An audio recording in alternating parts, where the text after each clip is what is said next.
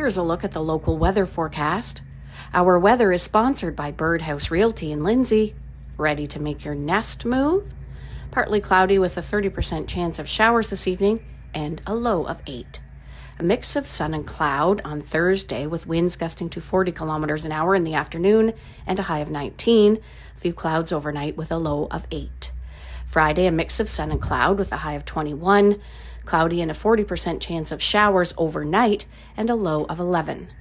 Saturday, cloudy with a 60% chance of showers, a high of 16, and a low of 9.